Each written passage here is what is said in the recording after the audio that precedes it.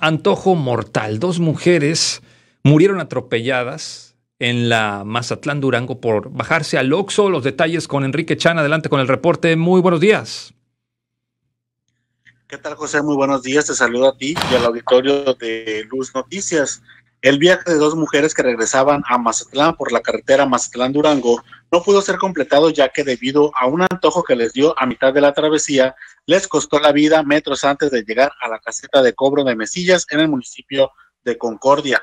El trágico accidente que cobró la vida de dos mujeres, de las cuales no se proporcionaron sus generales, se originó debido a que se habrían bajado de un camión turístico en que viajaban para hacer unas compras en una tienda de conveniencia situada varios metros antes de la caseta de cobro. Sin embargo, la unidad se estacionó en la parte de enfrente de la carretera, por lo que tenían que cruzar y fue en ese momento cuando una camioneta que iba a alta velocidad las arrolló quitándoles la vida casi de forma instantánea. Por el impacto de la unidad, la que se dio a fuga tras el atropellamiento, ambas mujeres quedaron a una distancia aproximada de 40 metros una de la otra, ya sin signos vitales de la camioneta que las atropelló, solo se sabe que era una, una unidad en color blanco y que huyó del lugar, dejando abandonadas a las dos mujeres con dirección al estado de Durango.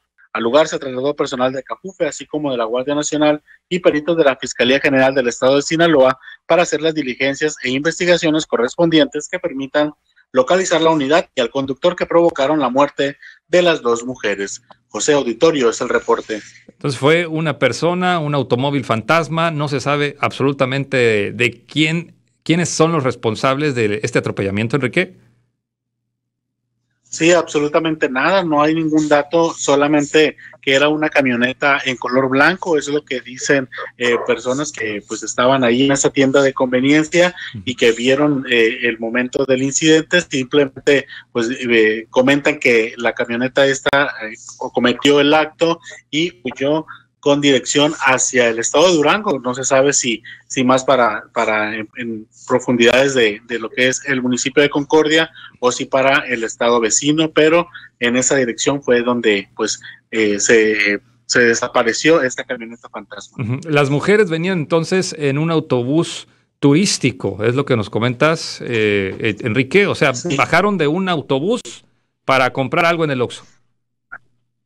Así es, eh, sobre todo eh, es lo que es lo que se, señalaba que esas mujeres venían eh, con un grupo de, turistas, bueno, de, aquí de, Mazatlán, venían de un viaje de, por la zona, no se especificó de, de, qué es específicamente, de qué comunidad venía, si se venían de Mexiquillo, si desde la ciudad de Durango, simplemente se comentó que era un, autobús turístico y que pues les dio el antojo, pidieron la, la eh, ahora sí que el favor de bajar a la tienda de conveniencia y fue cuando fueron atropelladas. Bueno, lamentable suceso. Gracias por este reporte, Enrique. Muy buenos días.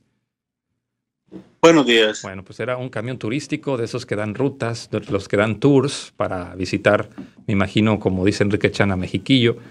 Y lamentablemente estas dos personas resultaron muertas. Las atropellaron. Las atropellaron. ¿Quién sabe quién las atropelló?